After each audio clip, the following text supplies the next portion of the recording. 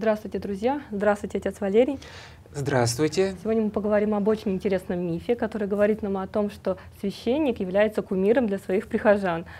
Отец Валерий, бывают такие приходы, где а, прихожане боготворят просто своего священника.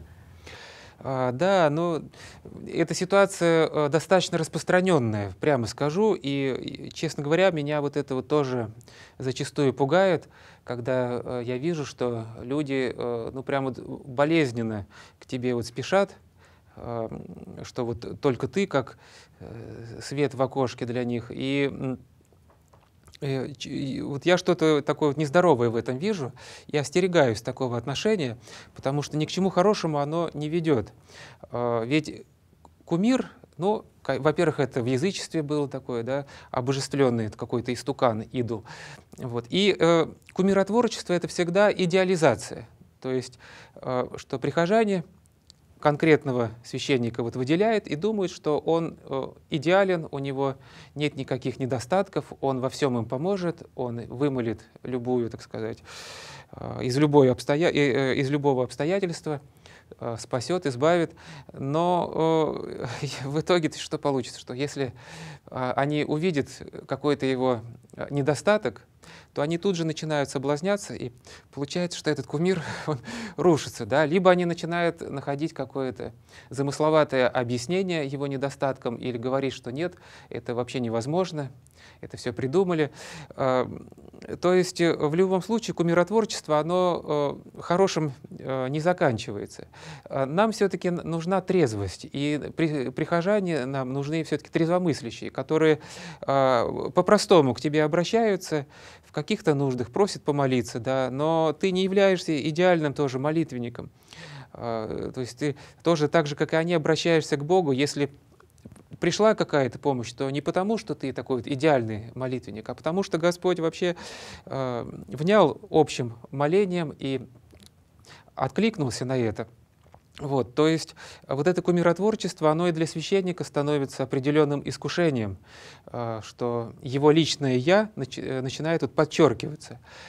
Поэтому э, опытные духовники и святые отцы, вот святитель Игнатий Бринчанинов в частности, они э, говорят, что духовник э, и священник вообще, он должен быть подобен святому Иоанну Крестителю, который э, людей не к себе направлял, а ко Христу. И когда к нему, к Иоанну Крестителю шли люди, то он говорил, что э, я всего лишь друг жениха, который радуется о женихе. Но это вот в древних традициях, да, там, в, в свадебных церемониях, там обязательно у жениха был Э, друг, который приводил э, гостей к нему.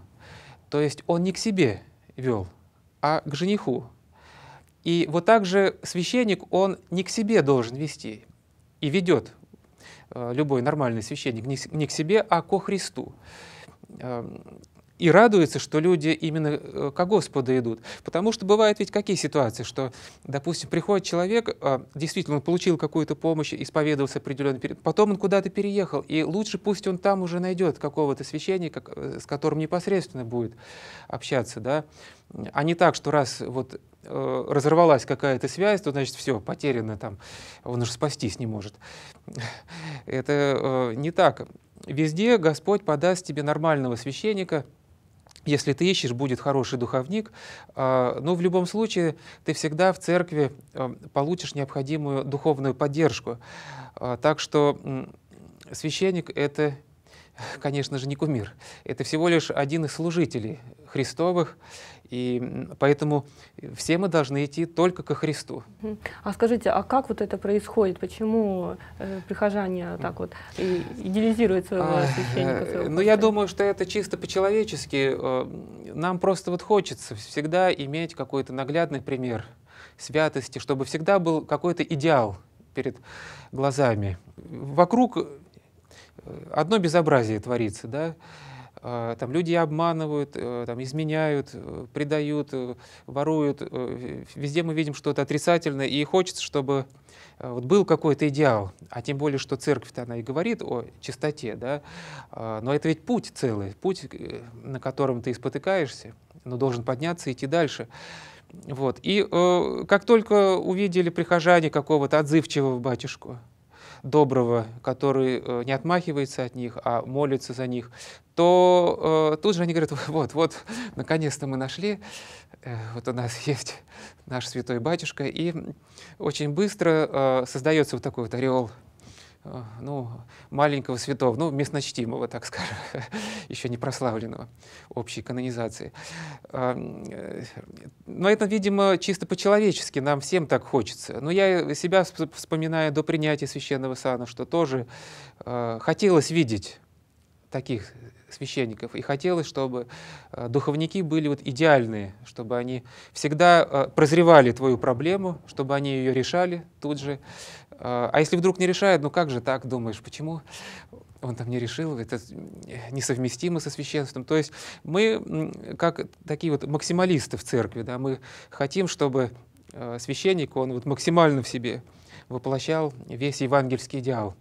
Но э, на самом деле это, э, во-первых, неправильно, во-вторых, и нам это не подходит. Мы все люди немощные, и поэтому э, нам на самом деле идеальные священники, они, которые были бы подобны ангелам, они нам не подойдут, потому что рядом с ангелом мы просто бы вот по своей греховности не смогли бы. Поэтому лучше пусть будут вот простые батюшки, которые имеют свои немощи, да, но э, понимают зато каждого тоже имеющего немощь. Спасибо, отец Валерий, за разъяснение. Дорогие друзья, мы ждем от вас новых вопросов. Спасибо Господь.